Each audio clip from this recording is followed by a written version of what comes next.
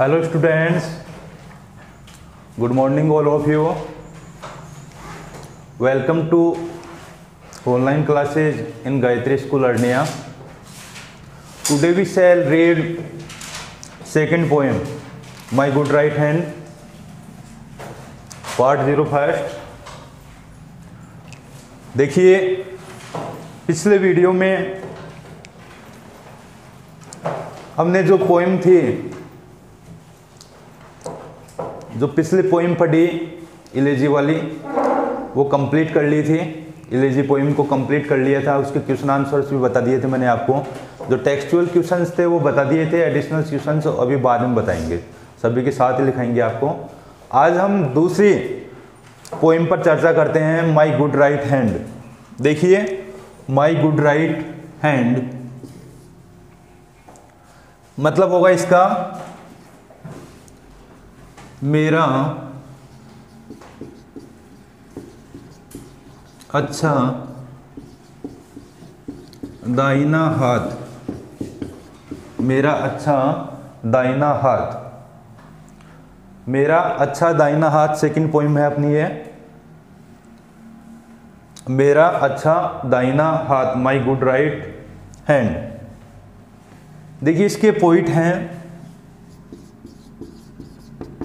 Charles Mackay. Charles Mackay. Charles Mackay के द्वारा लिखी गई ये पोएम चार्ल्स मेके, इसके पोइट हैं। पहले देखिए अबाउट द पोइट पढ़ लेते हैं।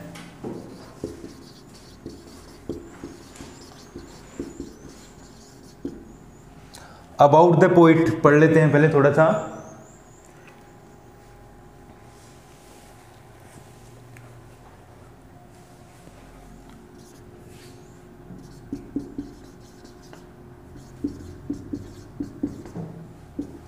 देखिए, चार्ल्स मैके हैं, इनका जो 27 मार्च 1814 से 24 दिसंबर अठारह सो नवासी। चौबीस दिसंबर अठारह तक मतलब इनका जन्म 27 मार्च 1814 को हुआ और मृत्यु 24 दिसंबर अठारह को हुई। तो जन्म कब हुआ? 27 मार्च 1814 और 24 दिसंबर अठारह को क्या हो गई इनकी? मृत्यु हो गई। अभी पोइट का नेम बताया आपको चार्ल्स मेके क्या नाम बताया? चार्ल्स मेके अपनी जो पोइम है, इसका नाम था माई गुड राइट हैंड मतलब मेरा अच्छा दाइना हाथ।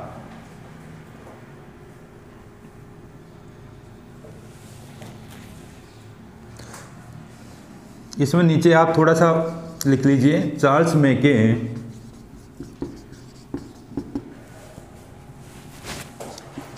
Was a Scottish poet Charles Mackay was a Scottish poet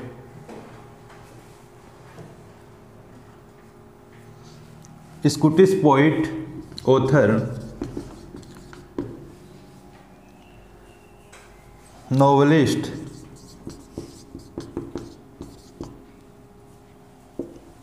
novelist and singer. Full stop. समझिए लाइन को क्या लिखा है मैंने? Charles Mackay was a Scottish poet मतलब स्कूटिस शैली के कवि थे ये। ऑथर भी थे साथ साथ में लेखक भी थे। नोवलिस्ट उपन्यासकार थे। And singer. और सिंगर भी थे एक ये इनका जन्म आपको बताया 27 मार्च 1814 को हुआ और मृत्यु कब हुई 24 दिसंबर अठारह को। अब ये इसमें बताया जा रहा है कि मैके को क्यों जाना जाता है मतलब जो चार्ल्स मैके हैं, उनको क्यों जाना जाता है, इसकी चर्चा करते हैं। पहले आप इसको नोट कर लीजिए, उतार लीजिए इसको, जो भी मैटर है आपके सामने।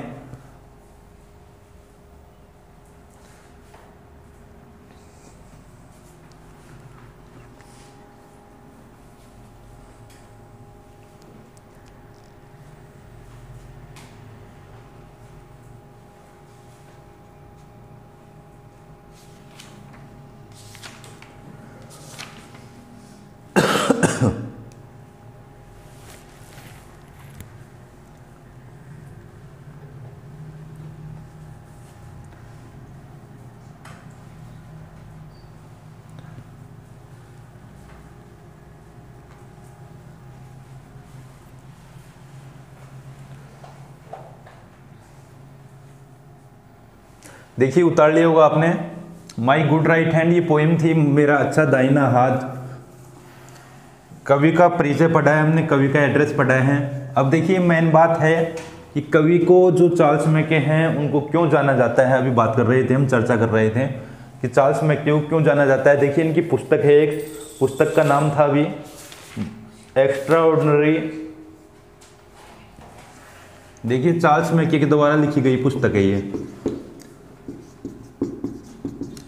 Extraordinary extraordinary popular delusions popular delusions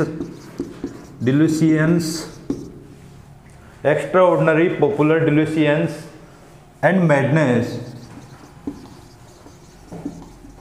and madness of crowds ये इसकी पुस्तक का नाम है चार्ल्स मैके की इसके द्वारा कंपोज की गई है। Extraordinary popular delusions and madness of crowds इस पुस्तक के लिए चार्ल्स मैके को जाना जाता है। इस पुस्तक के लिए किसको जाना जाता है? चार्ल्स मैके को जाना जाता है। तो क्वेश्चन हो सकता है ये। ये इसकी पुस्तक का नाम है, नोट कर लीजिए आप। Extraordinary popular delusions and madness of crowds ये इसकी पुस्तक का नाम है। इसके लिए इस चार्ल्स मैके को जाना जाता है। इस पुस्तक में कोई विशेष रहा होगा। इसके द्वारा लिखी गई थी। ये जो पोइम है तो उतार लीजिए इसको। अब देखिए, कविता के बारे में बता देता हूँ मैं आपको थोड़ा सा पहले। फिर पढ़ते हैं अपनी जो कविता है उसको। देखिए, कविता में क्या है? माई गुड राइट हैंड ये कविता है। आप ध्यानपूर्वक सुनिएगा। चार्ल्स मैके बता दिया इसके पोइट हैं। समझ गए? पोइट का नाम बता दिया चार्ल्स मैके इस कविता में क्या बताया गया है, क्या डिस्क्राइब किया गया है, इस पर चर्चा करते हैं हम थोड़ी सी। देखिए, जो कवि है, वो अपनी जो पॉवर्टी जिसको बोलते हैं, दरिद्रता। पॉवर्टी का मतलब क्या होता है? दरिद्रता। देखिए पॉवर्टी वर्ड ऐसे लिखेंगे P O V E R T Y poverty का मतलब गरीबी या दरिद्रता होता है, समझ गए? पॉवर्टी का मतलब तो कवि अपनी दरिद्रता का वर्णन कर रहे हैं। इस जो पोइम में, अपनी पॉवर्टी का क्या कर रहे हैं? वर्णन कर रहे हैं मतलब उसके जो दिन थे पॉवर्टी दरिद्रता तो इस दरिद्रता का वर्णन कर रहा है कवि। क्या कह रहा है? देखिए, दरिद्रता के लिए। मतलब ये कि गरीब व्यक्ति होता है, समझ गए? तो गरीब, गरीबी में कौन कौन साथ देते हैं कौन कौन साथ नहीं देते हैं? ये सब चर्चा इसमें कर रहा है जबकि बता रहा है कि मैं मुसीबतों से गिर गया, एक बार किसमें गिर गया? मतलब ग्रीप में पड़ गया, मुसीबत में पड़ गया। तो सभी लोग क्या करने लगे? कंप्लेन करने लगे। लेकिन लेखक कह रहा है कि वैसे तो सभी लोग कंप्लेन करते हैं, लेकिन इस कविता में जो लेखक है वो स्वयं कंप्लेन करता है। क्या करते हैं? अपने आप से ही लेखक शिकायत करने लग जाता है, अपने मित्रों से सहायता के लिए बोलते हैं। लेकिन मित्र क्या करते हैं? उसको अच्छी सलाह तो देते हैं। मतलब एडवाइस देते हैं, उसको पैसा नहीं देते हैं। तो एडवाइस देते हैं, पैसा नहीं देते हैं। तो एडवाइस तो देते हैं, लेकिन पैसा गोल्ड नहीं देते हैं मनी वगैरह नहीं देते उसको। और क्या करते हैं, वे उसका साथ छोड़ देते हैं। लेकिन आगे कवि ऐसा भी वर्णन करता है इस कविता में कि जब कवि के पास कवि ने मेहनत करना शुरू कर दिया। क्या शुरू कर दिया? मेहनत करना। कवि को क्या है कि जो गुड राइट हैंड था मतलब उसका जो दाइना हाथ था, उस पर क्या था? भरोसा था। अपने दाइने हाथ पर क्या था? भरोसा था। तो दाइने हाथ का मतलब यही है कि उसको मतलब भरोसा था और इसके साथ साथ में गॉड पर भी भरोसा था। भगवान पर भी भरोसा था। तो धीरे धीरे कवि भी क्या हो गया कि इसकी किस्मत है, जो करेज रिवाइव हो गया इसका मतलब जो सास है, फिर से जाग गया कवि का और ये पैसे वाला बन जाता है कवि। तो सभी उसके जो गए थे मित्र, समझ गए, वो धीरे धीरे वापस आने लग जाते हैं और कवि के पास फिर से बैठने लग जाते हैं। तो कवि इस प्रकार से वर्णन कर रहा है। देखिए, स्टेंजा पष्ट पढ़ेंगे हम। उतार लिया होगा ये। लिखिए, स्टेंजा पष्ट क्या है?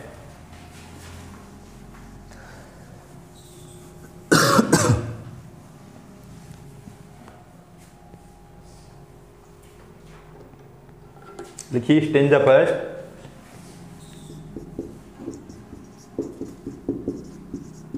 I fell into grief comma I fell into grave and began to complain and began to complain and began to complain. I looked for a friend. I looked for a friend. I looked for a friend, but I sought.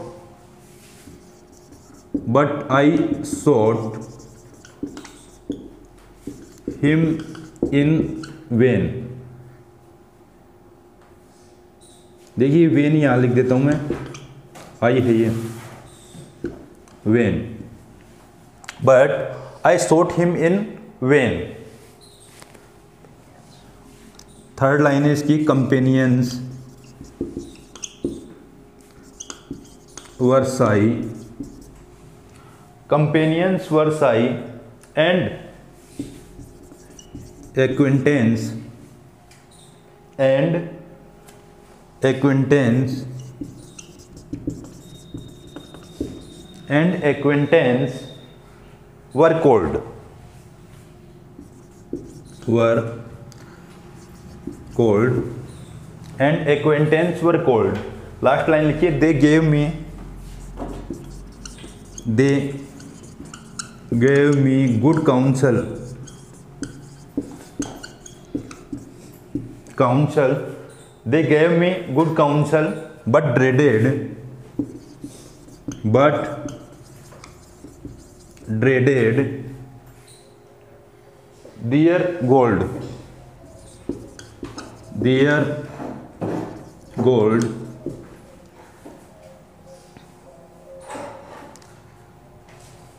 अब देखिए इसमें क्या है बेटा।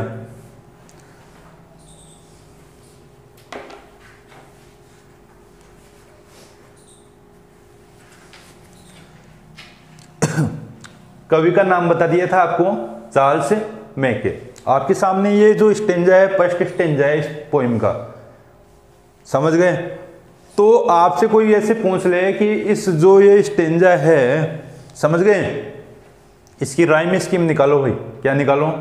Rhyme scheme तो rhyme scheme किस प्रकार से निकालते हैं? पहले वो देख लीजिए आप। अच्छे नंबर लाने के लिए होता है बोर्ड एग्ज़ाम में, कि राइम स्कीम क्या होती है। तो देखिए राइम स्कीम निकालने का तरीका क्या है, वो बता देता हूँ आपको। देखिए, इसमें कंप्लेन है लास्ट वर्ड क्या है? कंप्लेन कंप्लेन का में अंत में क्या आ रहा है? एन आ रहा है ना और वैसे न की ध्वनि आ रही है। किसकी ध्वनि आ रही है? न की। तो आप दूसरे में देखिए क्या आ रहा है? वेन। क्या आ रहा है? वेन। तो न की ध्वनि आ रही है, समझ गए? इसके बाद में देखिए, कोल्ड। क्या है? कोल्ड। डी आ रहा है, समझ गए? ऐसे ही लास्ट में क्या आ रहा है? गोल्ड। क्या आ रहा है? गोल्ड।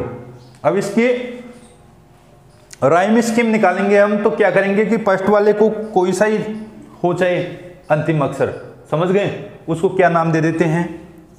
ए क्या नाम दे देते हैं? ए अब देखिए, ये अगर ये वर्ड दोबारा रिपीट यहाँ पर होता है तो उसको दोबारा फिर हम क्या नाम देंगे? ए अगर एन नहीं आता, मान लीजिए यहाँ पर वेन में तो क्या करते हैं? ए का नाम नहीं देते हम, समझ गए? तो यहाँ पर ए नाम नहीं देते एन की जगह दूसरा होता है तो अब देखिए यहाँ पर अलग आ गए ना डी समझ गए? तो इसका नाम देंगे हम बी क्या देंगे?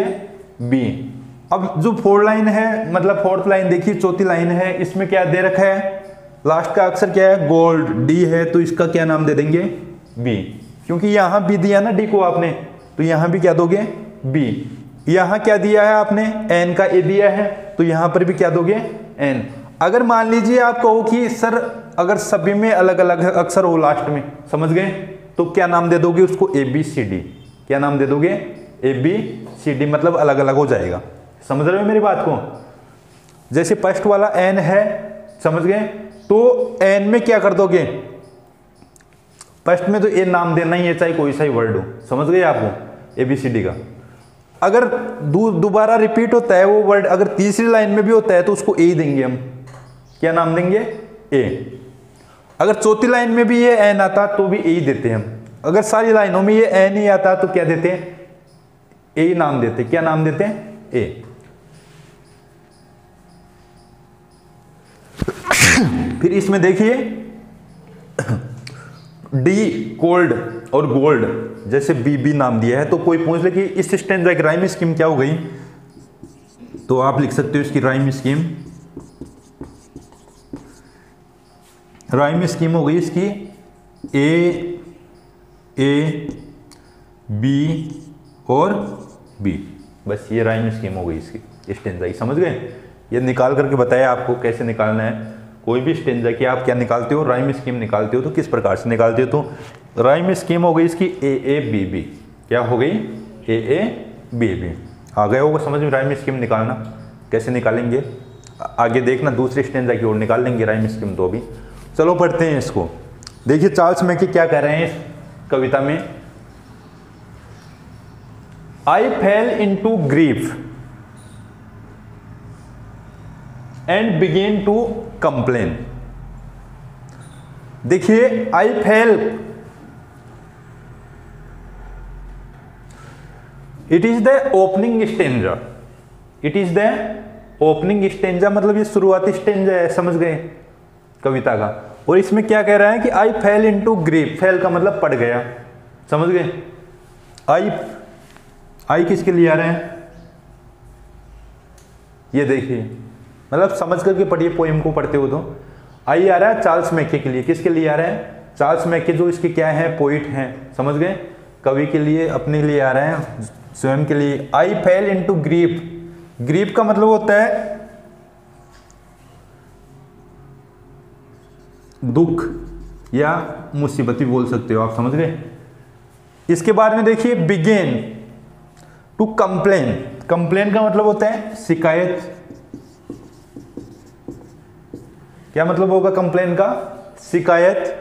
बिगेन बिगेन का मतलब होता है शुरू करना। क्या मतलब होता है? शुरू करना। तो ये तो बिगेन तो एक नॉर्मली वर्ड है, आपने पढ़ा होगा पिछले क्लासों में भी, समझ गए? लिखने की आवश्यकता है? बाकी जो अदर वर्ड मीनिंग है, मैं लिख रहा हूँ साथ साथ में। देखिए लुकड फॉर इसको लिख सकते हो आप? तलाश किया। मतलब लुक्ड फॉर को इंग्लिश में देखा जाए तो दूसरा वर्ड क्या लिख सकते हो? सर्च्ड फॉर क्या लिख सकते हो? सर्च्ड फॉर देखिए शॉर्ट शॉर्ट का मतलब है, वही बात है सर्च वाला। सेकंड फॉर्म है खोजा। क्या मतलब है? खोजा। देखिए, वेन। वेन का मतलब है व्यर्थ। वेन का मतलब क्या है? व्यर्थ। आगे देखिए। कंपेनियंस। कंपेनियंस का मतलब है साथीगण। या साथी भी लिख सकते हो। समझ गए? कंपेनियंस किसको बोलते हैं? साथी। साई। साई का मतलब होता है कतराना। मतलब डरना, कतराना, समझ गए? इसको बोलते हैं साई। एक्वेंटेंस एक्वेंटेंस का मतलब होता है जान पहचान।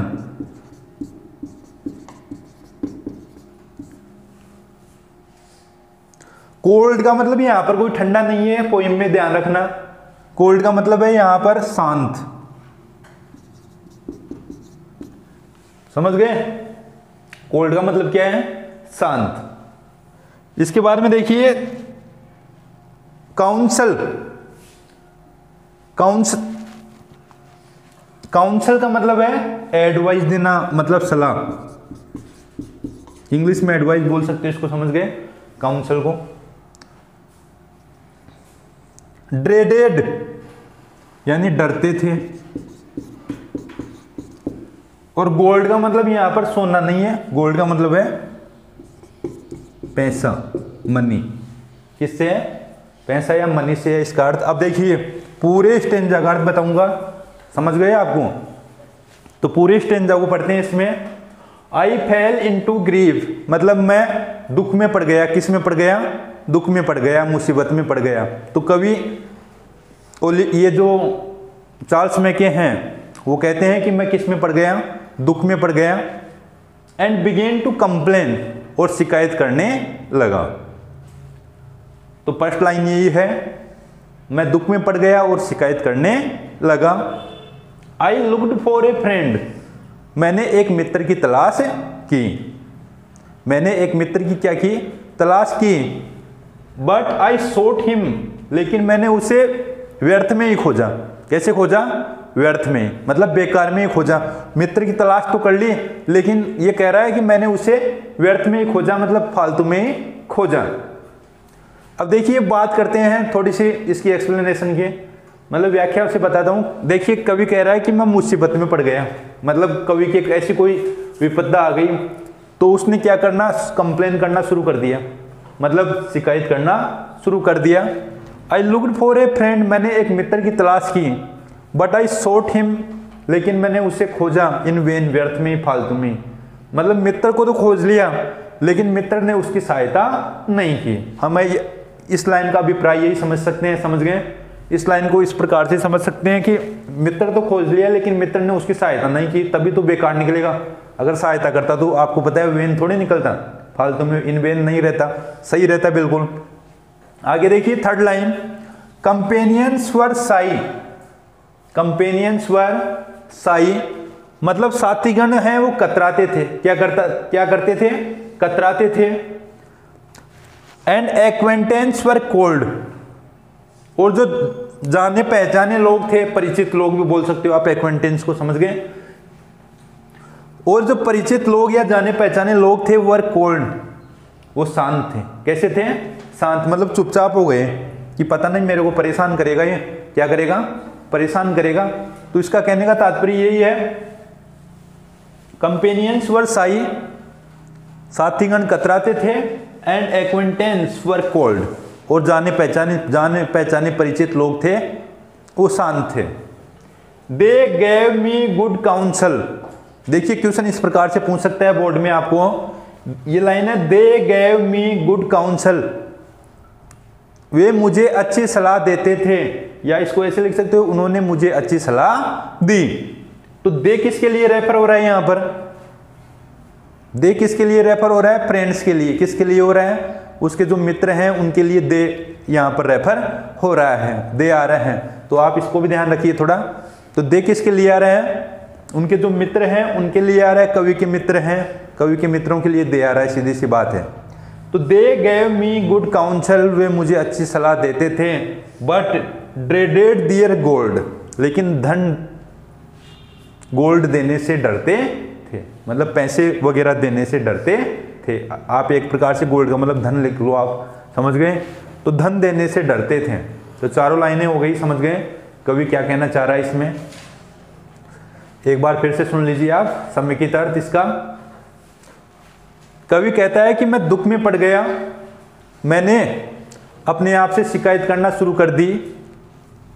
मैंने एक मित्र की तलाश की, लेकिन मैंने उसे व्यर्थ में ही खोजा। सभी मेरे साथीगण थे, वो कतराते थे मतलब दूर चले गए। कतराने का मतलब एंड एक्वेंटेंस वर कोल्ड और जाने पहचाने लोग क्या थे? शांत हो गए थे।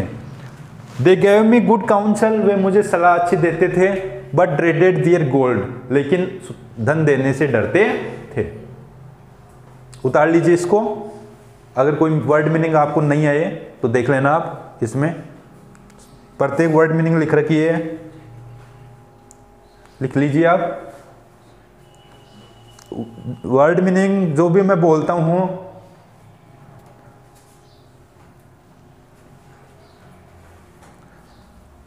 मैं जो भी बोलता हूँ, उसको आप नोट कर लिया करो। समझ गए? आगे देखिए स्टेंजर टू पर चलेंगे अब हम।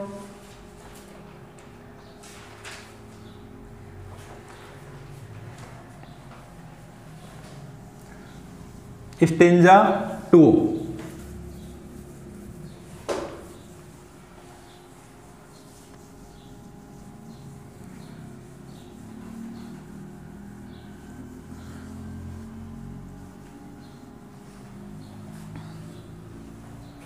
देखिए स्टेंजा टू लिखी है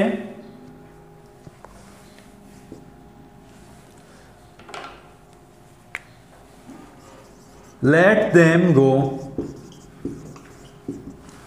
let them go.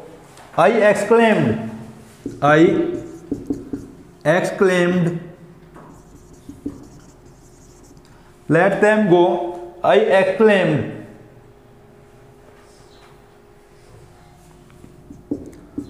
I have a friend. देखिए I have a friend at my side. ये है फ़र्स्ट लाइन आपकी स्टेंजा की। To lift me, second line है। To lift me. To lift me and aid me. And aid me. To lift me and aid me. Whatever betide whatever whatever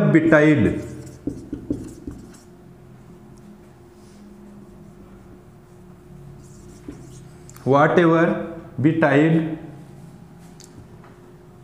to second line है ये आपकी। Third line लिखिए। To trust to the world to trust to the world to trust to the world is to build is to build. Is to build on the sand. On the sand. Last line लिखिए इसकी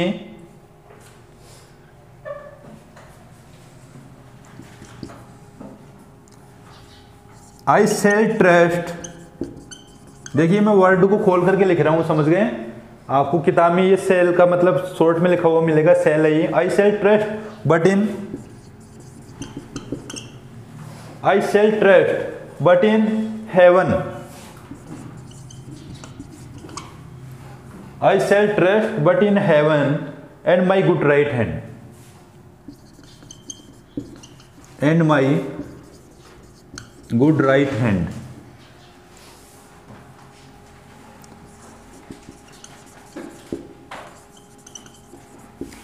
ये आपका stanza two है।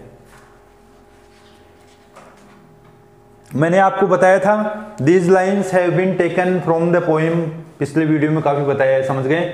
These lines have been taken from the poem my good right hand by compose Charles Mackay ऐसे इसका reference बन जाएगा।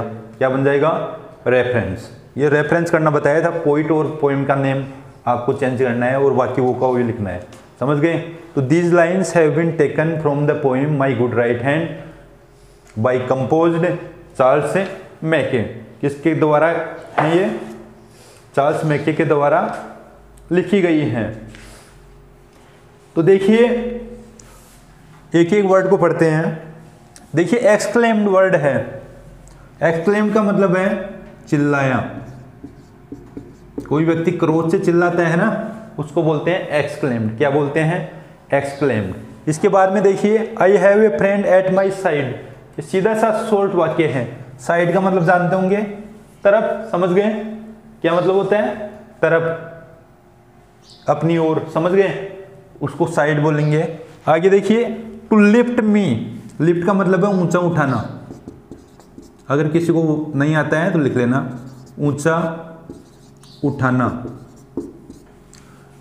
And aid A I D है ये ए डबल डी नहीं है। समझ गए? जोड़ वाला नहीं है आपका भी।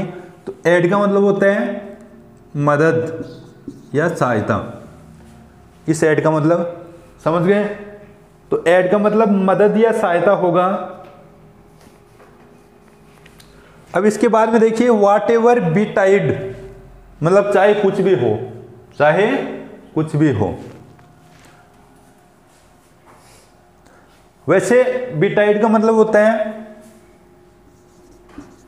घटित होना। क्या मतलब होगा? घटित होना। तो बात वही आ गई, चाहे कुछ भी घटना घटना घटे या कुछ भी हो। हम शॉर्टली ऐसे बोलते हैं इसको। फिर देखिए ट्रस्ट का मतलब जानते हो? विश्वास करना। क्या मतलब होता है? विश्वास करना। तो ट्रस्ट का मतलब है विश्वास करना। अब इसमें ये फ्रेज आया है एक world is to build on the sand build का मतलब बनाना ऑन द सेंड यानी सेंड का सैंड का मतलब है यहाँ पर मिट्टी या रेत. क्या मतलब है? मिट्टी या रेत. इसको बोलेंगे सैंड बिल्ड का मतलब बनाना. आगे देखिए आई सेल ट्रस्ट बात हुई आ गई हेवन का मतलब है स्वर्ग. हेवन का मतलब क्या है? स्वर्ग। And my good right hand और गुड राइट हैंड का मतलब बताई दिया? अच्छा दाइना हाथ।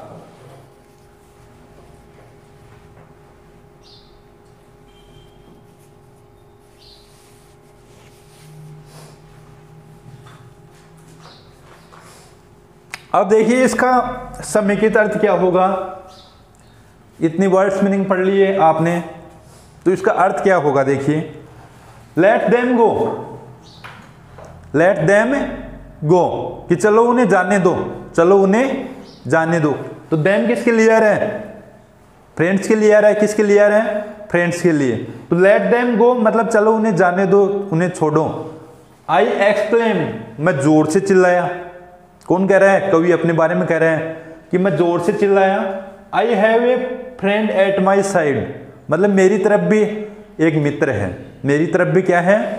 मित्र है। अब आप दिमाग लगाइए, अपना माइंड कवि कह रहे हैं कि आई एक्सक्लेम मतलब मैं क्रोध से चिल्लाया कि I ex I have a friend at my side कि मेरी तरफ़ भी क्या है? एक मित्र है। तो उसकी तरफ़ क्या मित्र है उसका? उसका राइट हैंड क्या है? राइट हैंड मतलब उसका दाइना हाथ। और कोई मित्र नहीं है? समझ गए? तो ये पूछा जा सकता है छोटे छोटे क्वेश्चन ये मान लीजिए स्टेंजा दे दे स्टेंजा हम छोटे छोटे क्वेश्चन पूछते हैं। आई किसके लिए आया किसके लिए रेफर हो रहा है समझ गए? तो I have a friend at my side मतलब मेरे तर, मेरी तरफ़ भी एक मित्र है मेरी और भी एक मित्र है। To lift me to lift me मुझे ऊँचा उठाने के लिए मुझे ऊँचा उठाने के लिए एंड एड मी मेरी मदद करने के लिए, समझ गए?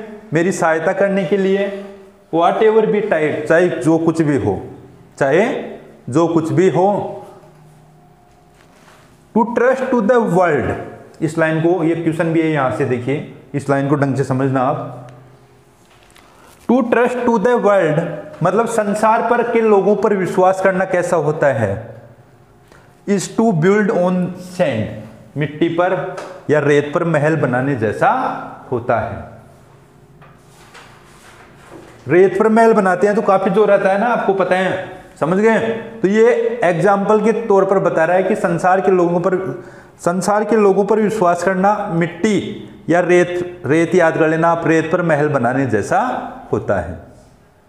रेत पर महल बनाने, बनाते हैं तो बहुत ज़ोर आता है, आपको पता है। वैसे जो संसार के लोग हैं, वो विश्वास, उन पर विश्वास तभी किया जा सकता है, इसी प्रकार से किया जा सकता है। तो ये मोस्ट इंपोर्टेंट लाइन है इस पोएम की। इस स्टेंजा की सॉरी इस स्टेंजा की मोस्ट इंपोर्टेंट लाइन है ये। To trust to the world मतलब संसार पर विश्वास करना। Is to build on the sand रेत पर महल बनाने जैसा है। अगर अर्थ नहीं आता है तो आप लिखते रहना साथ साथ में। तो संसार पर या संसार के लोगों पर विश्वास करना रेत पर महल बनाने जैसा होता है। तो संसार के लोगों पर विश्वास करना रेत पर महल बनाने जैसा होता है। आगे देखिए आई सेल ट्रस्ट मैं विश्वास करूँगा। कवि क्या कह रहे हैं? मैं विश्वास करूँगा बट इन हेवन अब हेवन का मतलब वैसे तो क्या होता है? स्वर्ग होता है। क्या मतलब होता है? स्वर्ग। लेकिन यहाँ पर इस जो ये पोइम है, इसमें इसका मतलब गोड से है। किससे है? गोड से। ये कह रहा है कवि कि मैं हेवन में विश्वास करूँगा। मतलब मैं भगवान पर विश्वास करूँगा। किस पर करूँगा? भगवान पर विश्वास करूँगा and my good right hand और मेरे अच्छे दाहिने हाथ पर। और मेरे अच्छे दाहिने हाथ पर। तो ये भी क्वेश्चन है कि कवि को किन पर विश्वास है? तो my good right hand and God कर सकते हो। समझ गए? My good right hand and heaven ये क्वेश्चन है। समझ गए? कि कवि किन लोगों पर विश्वास करते हैं, किन पर विश्वास कर रहे हैं? तो सीधा सा क्वेश्चन है। कहाँ पर विश्वास कर रहे हैं? अपने दाहिने हाथ पर और भगवान पर। दो ही चीज़ों पर विश्वास है कवि का। खुद का जो दाइना हाथ है और जो राइट हैंड है और हेवन मतलब गॉड भगवान पर। तो समय की दर्द सुन लीजिए आप। कभी कहता है कि उन्हें छोड़ो कि उन्हें जाने दो, गए तो गए। आई एक्सक्लेम्ड मैं क्रोध से चिल्लाया कि मेरी तरफ़ भी एक मित्र है। मेरी तरफ़ भी एक मित्र है।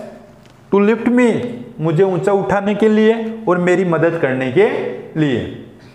वाट एवर भी टाइट चाहे कोई भी घटना घटे। To trust to the world मतलब संसार के लोगों पर विश्वास करना, रेत पर महल बनाने जैसा होता है। आई सेल ट्रस्ट कि मैं विश्वास करूँगा किसमें केवल? भगवान और मेरे अच्छे दाहिने हाथ पर। मैं कहाँ पर विश्वास करूँगा? केवल भगवान और मेरे अच्छे दाहिने हाथ पर। तो उतार लीजिए स्टेंजा को इसको। कोई वर्ड मीनिंग है? वो लिख लीजिए। एक स्टेंजा और पढ़ेंगे अभी।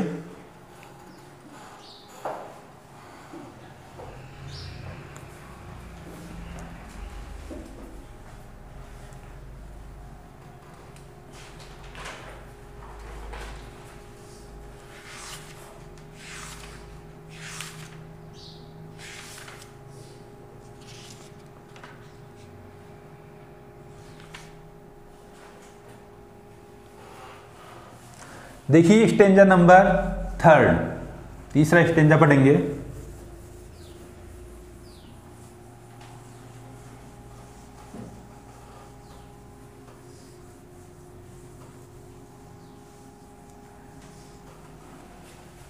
तीसरा स्टेंजा लिखिए आप। My craze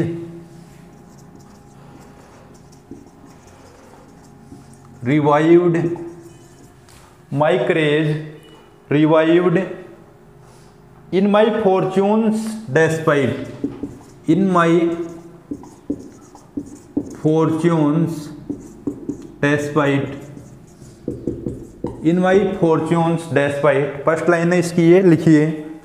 My craze revived in my fortunes despite in my fortunes despite second line है and my hand was as strong and my hand was as strong and my hand was as strong as my spirit was light and my spirit was light second line है ये third line लिखिए it raise me from sorrow it raise me from sorrow it raise me from sorrow it saved me from pain it saved me from pain तीसरी line थी आपकी it fed me last line लिखिए it fed me and clad me it fed me and clad me again and again again and again ये stanza आपका। Third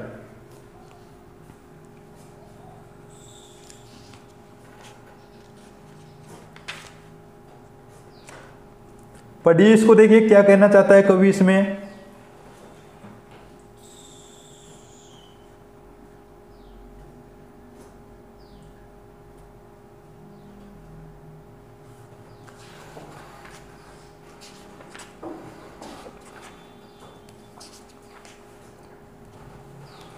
देखिए, करेज किसको बोलेंगे?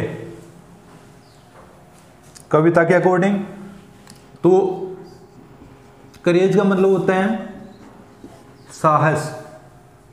Revived, यानी पुनः लौटा। या पुनर्जीवित भी कर सकते हो आप, इसको समझ गए रिवाइव को। पुनः लौटा फॉर्च्यून किसको बोलते हैं? फॉर्च्यून का मतलब होता है भाग्य। क्या मतलब होता है? भाग्य। तो फॉर्च्यून्स के आगे देखिए डेस्पाइट वर्ड लग रहा है। क्या लग रहा है? डेस्पाइट का मतलब बावजूद। क्या मतलब होता है? बावजूद। तो इसका मतलब हो जाएगा दुर्भाग्य। इन माई फॉर्च्यून्स डेस्पाइट दुर्भाग्य के बावजूद। दुर्भाग्य के बावजूद। डेस्पाइट का मतलब सिवाय बावजूद ये होता है, समझ गए? तो बावजूद होता है इसका मतलब डेस्पाइट का? आगे देखिए and my hand was strong strong का मतलब मज़बूत। स्ट्रोंग का मतलब क्या है? मज़बूत। और स्पिरिट का मतलब होना चाहिए आत्मा। अब इस पॉइंट स्पिरिट मतलब मन भी बोल सकते हो आप, या आत्मा भी बोल सकते हो। आत्मा ही लिख लीजिए आप। लाइट अब देखिए लाइट का मतलब कई बच्चे क्या समझ जाते हैं? जलना, प्रकाशित होना, समझ गए? लेकिन आत्मा कभी जलती थोड़ी है, समझ गए? तो आत्मा तो जलती नहीं है तो लाइट का मतलब है यहाँ पर पर्सन या खुशी। फिर देखिए it raised me from sorrow it raised me raised का मतलब पहले भी आया था। रेज का मतलब है ऊपर उठाना। Raise me from sorrow sorrow का मतलब जानते हो आप? दुख। सोरो का मतलब क्या है? दुख। It saved me from pain saved यानी बचा लिया।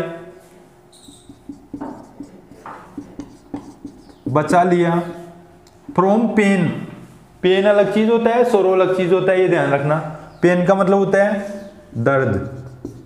क्या मतलब होता है? दर्द। इट फेड मी फेड का मतलब होता है भोजन खिलाना। फेड से किन फॉर्म में तो भोजन खिलाया। एंड कलेड मी कलेड मतलब वस्त्र। अगेन एंड अगेन बार बार अगेन एंड अगेन बार बार अब देखिए उतार लीजिए एक बार आप, फिर मैं बताता हूँ आपको इसका अर्थ। पढ़ते हैं इसको।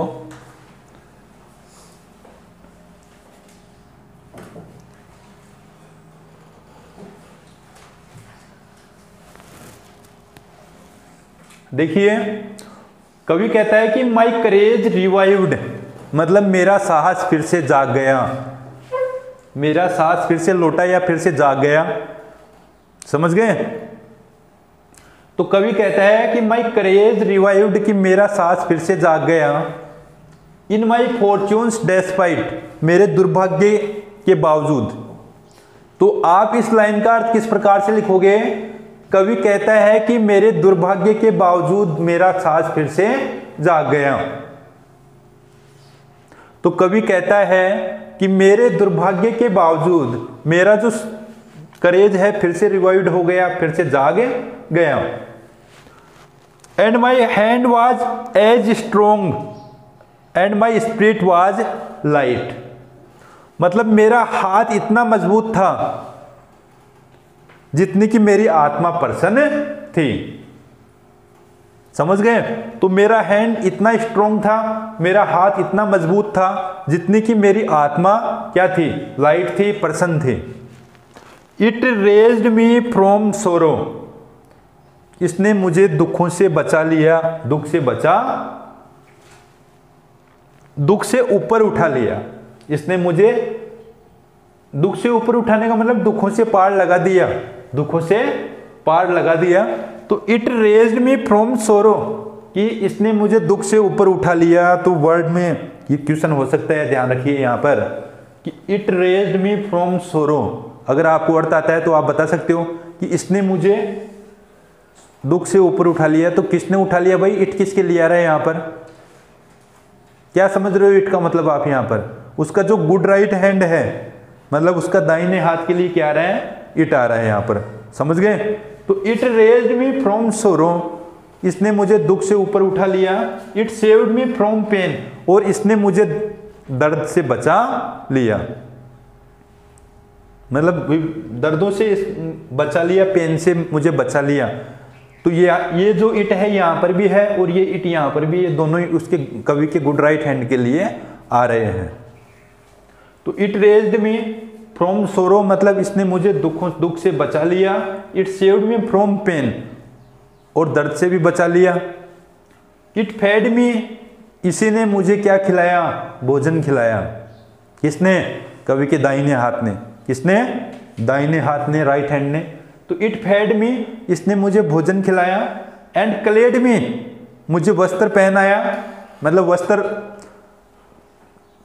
वस्त्र तो पहनते तो सभी हैं, आपको पता है, हाथ से ही पहनते हैं और हाथ से भोजन खाते हैं। लेकिन जो उसका मतलब जो राइट हैंड था, वो लकी था, उससे उसने कमाया, क्या किया? कमाया कवि ने समझ गए? काफ़ी मेहनत की उससे। समझ गए? मेहनत करके, मेहनत करने के बावजूद क्या हुआ? भोजन खिलाया तो दाइना हाथ ने खिलाया। एंड कलेड में और मुझे वस्त्र पहनाया। अगेन एंड अगेन यानी बार बार तो ये तीसरा स्टेंजर था इस पोइम का।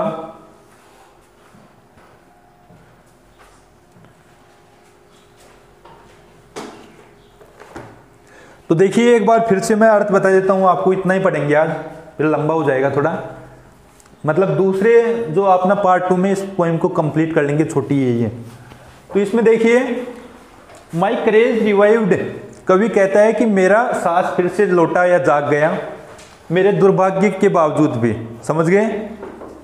And my hand was as strong और मेरा हाथ इतना मज़बूत था जितना कि मेरी आत्मा भी क्या थी? लाइट थी पर्सन थी। It raised me from sorrow इसने मुझे दुख से बचा लिया। किससे बचा लिया? दुख से ऊपर उठा लिया और पेन से बचा लिया। पेन से क्या कर लिया? बचा लिया मतलब दर्द से बचा लिया। इसी ने मुझे भोजन खिलाया, इसी ने मुझे वस्त्र वगैरह दिए। बार बार समझ गए? ये था, कवि का कहने का मतलब ये तीसरा स्टेंजा था आपका। तो यहाँ तक तीसरे स्टेंजा तक आप इसको पढ़ लेना। एक स्टेंजा और बचा हैं, और कुछ क्वेश्चन आंसर्स हैं इसके, जो नेक्स्ट वीडियो में देखेंगे। Okay, thanks.